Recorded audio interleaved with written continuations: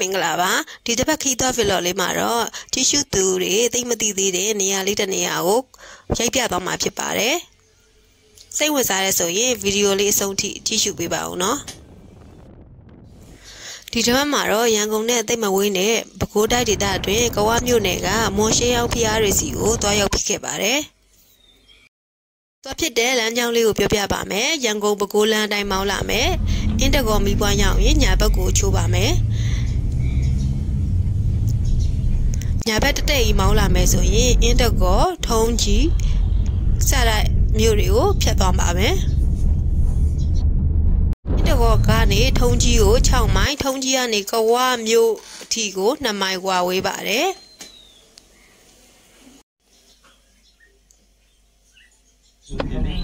အချိန်အားဖြင့်ပြောရမယ်ဆိုရင်တော့အင်တကောကနေကဝမြို့တီကိုနိုင်ဝက်ခန့်ကားမောင်းရပါတယ်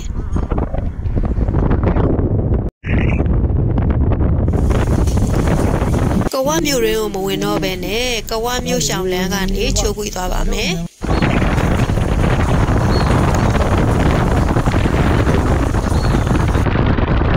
ပလေးပြားယူသွားတဲ့အခါဒီမှာကြိုက်မက်ကော်စီရီတော်မြတ်ဆိုပြီးစိုင်းဖို့ရှိပါတယ်။ဘယ်ဘက်ချမ်းကိုချိုးမယ်ဆိုရင်ဒါကြိုက်မက်ကော်စီရီသို့မဟုတ်ပလေးပြားယူသွားမယ်လမ်းပါ။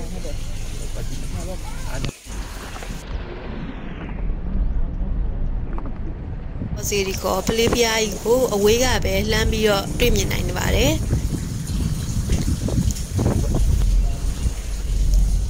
ဒီလမ်းစုံလေးရောက်ရင်ညာဘက်တက်တက်ကိုတက်သွားပါမယ်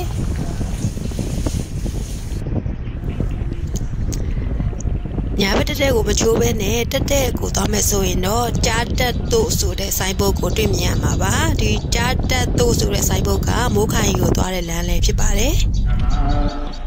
သုံးရတာအတွက်လူတော်ငွေ1500ကျပ်။ဒီကနေထုံဖြူဖြူတုတ်ထားတဲ့ဖလေးဖျားကြီးကိုအနီးကပ်ဖူးမြော်ရပါပြီ။ဒီကြိုက်မက်ကောဖလေးဖျားကြီးကတူနာဘူမီဟန်တာဝရီဥတာပကိုစတဲ့မွန်မြမမင်းဆက်ဆက်ကတည်ထားခဲ့တဲ့ရှေးဟောင်းသမိုင်းဝင်စီရီတစုနဲ့ဖြစ်ပါတယ်။အနန္တကောင်းရဲ့ရှိခုခုဆိုရင်တော့ကဝါမျိုးနဲ့ဖလေးကြီးပါကဖလေးဖျားကြီးရောက်ပါပြီ။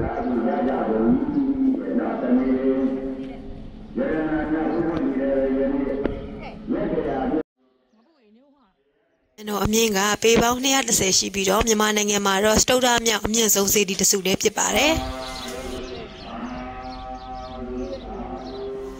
အရင်ကတော့ဇီရီပေါ်တက်တီတက်ခွင့်ပေးပေမဲ့အခုခါမှာတော့ဇီရီကိုပြန်လည်ပြုပြင်နေတဲ့အတွက်တက်ရောက်ခွင့်ပိတ်ပင်ထားပါတယ်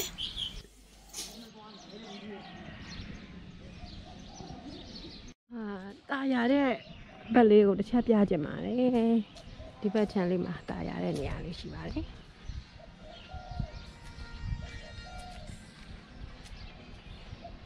မရဲ့တောင်ဆွဲဖြစ်တဲ့ဟင်းသာကုန်းကြိုက်ပတိုင်တာဝဖလေးမိုးကနန်ကုန်းတန်းပုံမှာတရှိတာဖြစ်ပါတယ်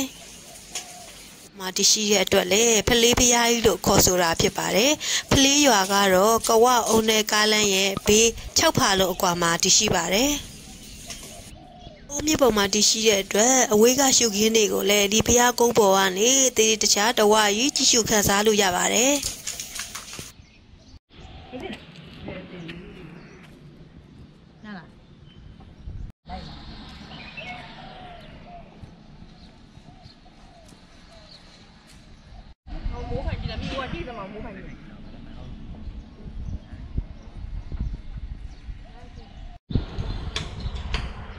ညမှာတော့မိုးခိုင်ဖျားကိုသွားပူးမယ်ဆိုပြီးတော့ကောဘကအဖွဲ့ကိုမေးမြန်းတဲ့အခါမှာတော့ကြားတက်ကနေမြောက်စုစုတက်တဲ့ကိုသွားရင်မိုးခိုင်ကြီးကိုရောက်တယ်လို့ဆိုပါတယ်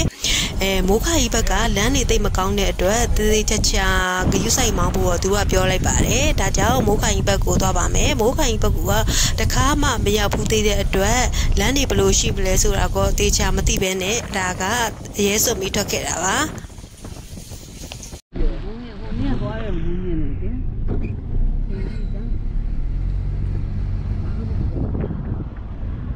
ကိုသွားတဲ့လမ်းလေးတွေကို ပြောရမယ်ဆိုရင်ထူးထူးကြအညာဒေတာကိုရောက်နေရတယ်လို့ပဲ၆သွေးတဲ့ခံစားမှုကိုရရှိပါတယ်။ပေမဲ့ကိုဂရိတ်လန်ခင်းတာတော့ကားမောင်းလို့အဆင်ပြေပါသေးတယ်။ဒါပေမဲ့ရှေ့မှာတော့ဘလို့ကြုံရမလဲဆိုတာမသိသေးပါဘူး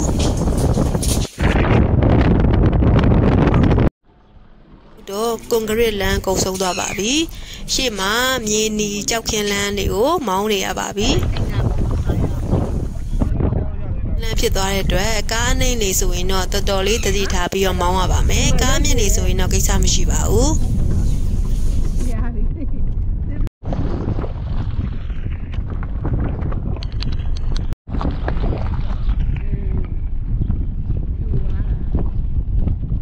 နေ့လောက်မောင်းမှုရဲ့အခါမှာတော့အဝေးကဇီရီတွေကိုစတွင်ဖူးမြော်တွေ့ရှိရပါပြီ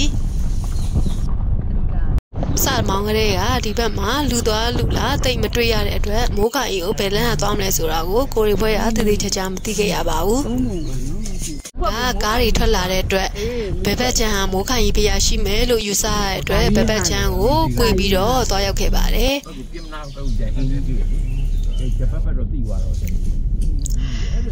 ဘယ်ဘက်ချမ်းမှာတော့တောင်ကုန်းပေါ်မှာစီဒီတစုကိုလှမ်းတွေ့ရပြီးအဲ့စီဒီကကြိုက်မိုးခွက်ဖျားလို့ အညွန်ဆိုင်ပုတ်ထူထောင်လာပါတယ်ဒါကြောင့်ဘယ်ဘက်ချမ်းကိုပဲမောင်းပြီးတော့စီဒီလေးကိုအရင်ဆုံးလာခဲ့ပါတယ်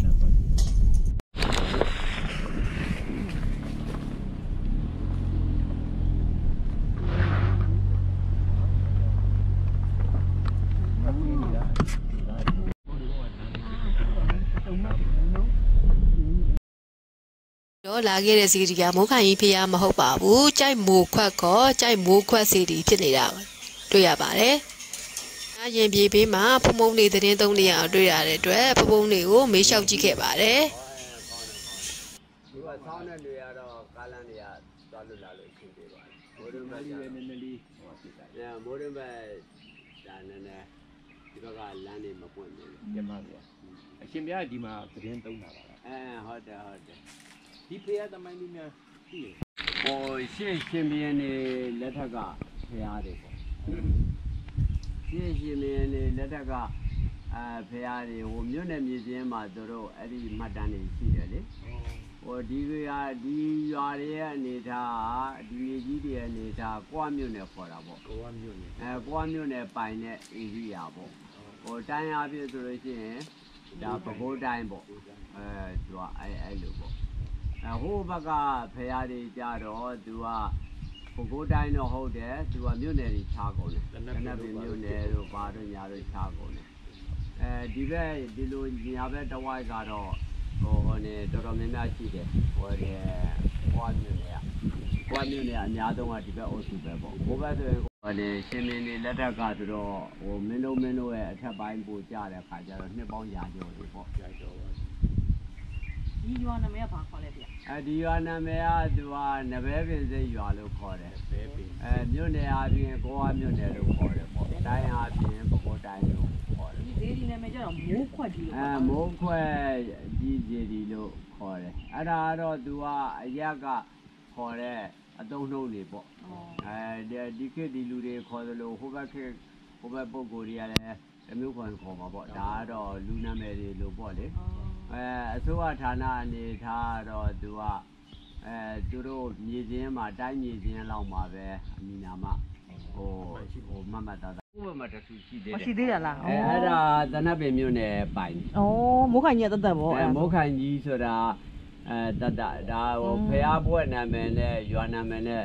ဟိုသွားဆင်လို့အော်အဲဟိုမှာမိုးခိုင်ကြီးရွာမိုးခိုင်လေးရွာဆိုတာအော်လည်းတတ်တတ်ရှိရဗောအဲတတ်တတ်ရှိတဒီယ်မှာဒီမှာအဲဒါကသူကဟိုကြိုက်မှုခွက်လို့ခေါ်တာကြိုက်မှုခွက်ဒီမှာဒီမှာတချို့ကြတော့လဲကြိုက်မိုးခွက်လို့ခေါ်တာကြိုက်မိုးခွက်ဒီမှာကြိုက်မိုးခွက်လို့လည်းခေါ်တယ်ကြိုက်မိုးခွက်လို့လည်းခေါ်တယ်ပေါ့အဲဒါကတော့သူကတက်လာတဲ့ပုံကိုယ်တွေရဲ့အဲဟောတယ်တက်တဲ့ကြားရှိတဲ့ပုံကိုယ်တွေဆရာတော်တွေဒါခေါ်ကြတာအော်ပေါ့ဒီမှာဒီမှာဟောတစ်ခဲတစ်ခဲတော့မတူဘူးပေါ့မွန်နာမည်ပေါ့နော်ဗျာ မွန်နာမည်ပေါ့မွန်နာမည်မွန်နေပေါ့အဲ့ဒီဒီမှာကဒီမှာမွန်ဘီရင်နေမွပေါ့န်ဘီရင်နေဆိုတော့ဒီမှာပြန်လောက်ကြရတဲ့ဟာမျိုးပေါ့အဲ့လိုပဲမှန်းကြရတယ်လေနောက်လိုပဲမှန်းမှာပေါ့နော်ဒီမှာလူကဖေရဘာလို့အုတ်တွေကအကုန်ရှိတာဒီမှာရှေးအုပ်တွေရှိရနော်အဲရှေးအုတ်တွေကြီးပဲအကုန်ရှိတာဟိုဒီမှာခြေတိအောင်ရှိတာဟိုဒီမှာဒီမှာဒီမှာဒါကနောက်လူတွေအဲဒါပြန်ပြီးတော့ကိုနိုင်တာလေးတွေလိုက်ပြီးရောနှစ်တွေဟိုရာထောင်ကျော်လာတဲ့အခါကျတော့ပြေးပြေးရတယ်ရှင်အဲပလေးပြားကြီးတို့နဲ့ဒါတရွဲတဲ့ဟိုနှစ်သက် တန်းနေတက်သွားလို့တော့ရတယ်ဟိုဟိုနေသူတို့အလုပ်ခွင်နေဆိုတော့ကိုကနောက်ဦးဖြစ်တော့သူတို့မေးရပြီးပါသေးတာနောက်မှပဲအဲမနနောက်ကကမှဖေကားတော့လှုပ်လေကားလေလို့ကဟိုနေမနက်ကမှဘေးကနေကားရတဲ့အခါကျတော့အခုလာတော့ဟိုနောက်မှာဖះတွေ့တော့လမ်းစုံဖះတဲ့သူတွေ့တော့ဒီချိုးတယ်လေချိုးတယ်အဲ့ဖះကိုပြန်မောင်းမြောင်မောင်ပြန်မောင်းအဲ့ဖះရောက်တော့အဲ့နာတဲတွေကိုတွေ့တဲ့လူကိုမေးမေး မေးတော့အခါကျတော့မှသူတို့ကပြောမယ်ဘယ်နာကနေဟိုနာမှာလမ်းဘလို့ပါညာအော်ဒီမှာမြောင်လို့ရှိရင်ဟိုဒီဘက်ကိုဘယ်ဘက်ကိုကြည့်တော့ဘယ်ဘက်အဲဘယ်ဘက်အဲညာဘက်ညာဘက်ကိုကြည့်တော့ညာဘက်အရှိဘက်အဲဟုတ်ဘက်ဟုတ်ပြီကြည့်တော့ပြီးသွားဟိုဘက်နားမှာထိတ်ကြလို့ရှိရင်ကြိုက်တလုံးတွေ့လိမ့်မယ်မှန်မှန်ကြိုက်တလုံးတွေ့အဲ့နားမှာကိုရတာကြာပြီပေါ့ဒီဒီပါဆိုတော့ဇာတိအဲ့ဒီဝါဇာတိပဲပြောမှာပေါ့ဟိုကောင်းစီခစ်ပါညာတိမှတ်မိရအဲ့အဲ့ ဟိုကအော်အေးဒါလေးလည်းမဆိုးဘူးပါဒီကဘာမှဖုံးလို့ရှိတယ်ဘာမှမလုပ်တော့ဘူးဒီလိုဆိုဘာလို့မတက်တော့ဘူးတက်မဲ့ဆိုလည်းရတယ်အရှင်ပြဆက်စုတော့မဟုတ်ဘူးပြောနော်လူပေါ်တော့ဗာလူလုံးဝတော့လဲလို့အခုရောက်နေတာမိုးခိုင်ကြီးဖျားလို့ပြင်မဲ့ဒါမိုးခိုင်ကြီးဖျားမဟုတ်ပါဘူးဒါကကြိုက်မိုးခွက်တင်ပြီးဖြစ်ပါတယ်မိုးခိုင်ကြီးဖျားဟိုဘက်မှာရှိတယ်လို့ပြောတယ်ဒါကြောင့်ဒီကြိုက်မိုးခွက်စီဖျားကိုပဲအရင်ကူးလိုက်ကြအောင်နော်ဘုရားရှိသေးတယ်တောင်ဝါရောက်လို့ရှိရင်အဲ့ဒါဘုရားဟိုတဲ့ရေရတာဝ ဘုရားတာဝတော့ပဲဟုတ်ပဲညတော့မဝေးပါဘူးမွေးပါဘူးညနေတက်တက်အဲ့ပြီးပြီးဘုရားပေါ်တန်းတက်လို့ရှိရင်အဲ့ရသွားဘုရားကြီးပါလေရောက်ပြီးတော့မှသွားရတယ်ဆိုတော့ကိုကကိုလာကြည့်လိုက်တော့မသိဘူးပေါ့နော်ဒါမိုးခိုင်ကြီးလို့ထင်တာ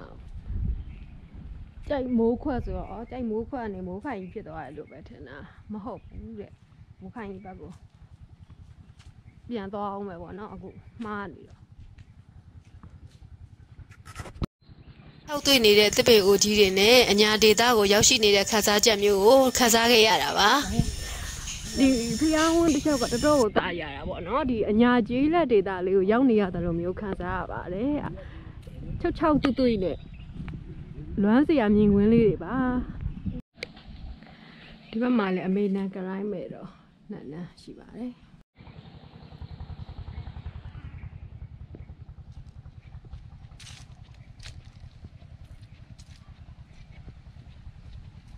တော့မိုးခိုင်ကြီးဖျားဘက်ကိုဆက်သွားပါမယ်ဒီဘက်ကကဝမြို့နယ်ဖြစ်ပြီးတော့မိုးခိုင်ကြီးကတော့တရက်ပြင်းမြို့နယ်ထဲမှာပါဝင်တယ်လို့သိရပါတယ်ခုတော့ပြန်ပြီးတော့မိုးခိုင်ဘက်ကိုပြန်ဆင်းပါမယ်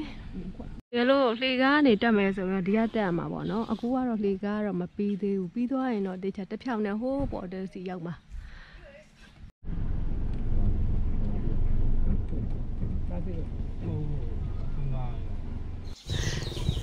ဆော့ဆော့ကကြိုက်မိုးခွက်ဖျားကနေမိုးခိုင်ကြီးဖျားကို10မိနစ်လောက်ကားဆက်မောင်းရပါတယ်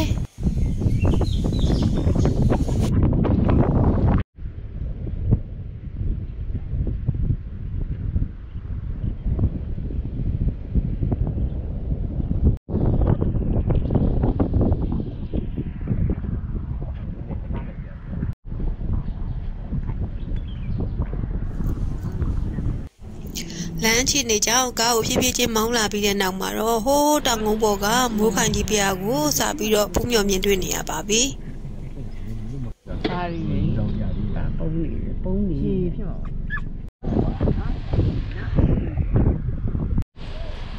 မိုးခိုင်မိုးခိုင်မိုးခိုင်ဒီကလေးရ ဖျားကိုအဝေးကလှမ်းဖူးတဲ့အခါတောင်ကုန်းပေါ်မှာတည်ထားတယ်လို့ထင်ရပေမဲ့အနီးကပ်ရောက်တော့မှအောက်ခြေကအုတ်တီနဲ့ဒီထားကိုကွက်ထားတာကိုတွေ့ခဲ့ရပါတယ်ဟိုမှာပြိုပြက်နေတဲ့ပရားတွေရှိရပါတော့။သူကပကံလက်ရတယ်လို့မျိုးလေး။အဲ့နားလေးကိုရိုက်ပြမယ်နော်။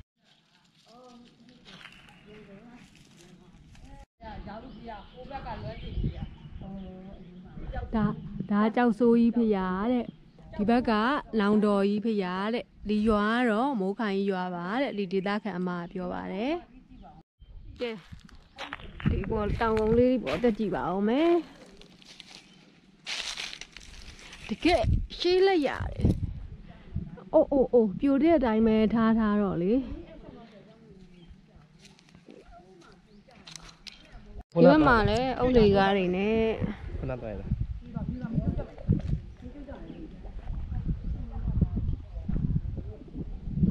ဖျားရဲ့ရာဇဝင်ကိုပြန်ကြည့်တဲ့အခါဘရင်နောင်မင်းလက်ထက်ထဲစောတယ်လို့ယူဆရပါတယ်။ဘာကြောင့်လဲဆိုတော့တမန်စီရီမင်းလက်ထက်ကဒီဖျားကိုပြန်လဲပြုတ်ပြစ်ထိမ့်သိမ်းခဲ့တယ်လို့သမိုင်းရဆိုထားလို့ဖြစ်ပါတယ်။ဒါကြောင့်14ရာစုလောက်ကဖြစ်မယ်လို့ယူဆရပါတယ်။ဖြည်းဖြည်းစင်းရဖြည်းဖြည်းစင်းရမိမိ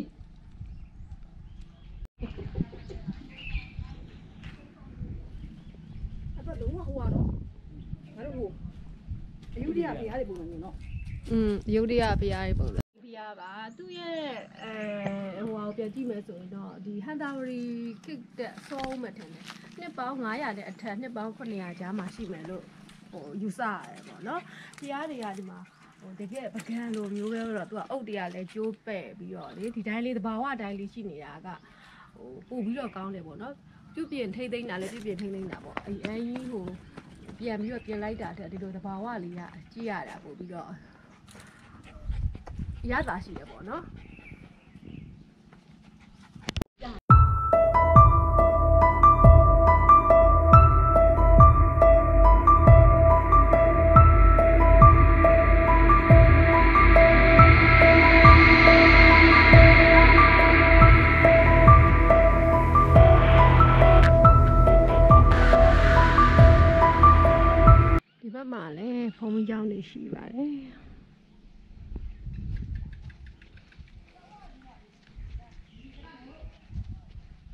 ကဲ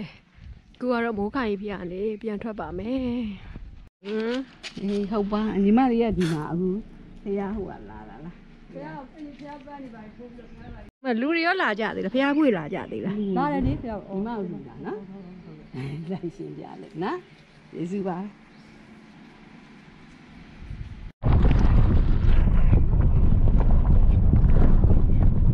ပြောနေပိုင်ရအေး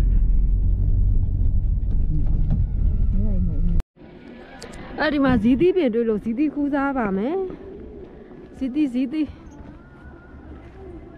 အောက်မှာပါကောင်လေးကြွကြွနေ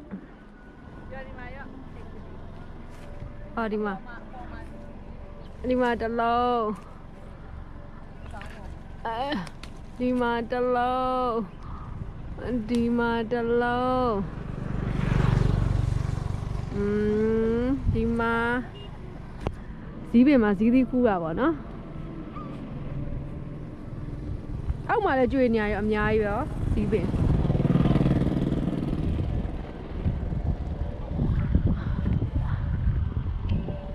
အေး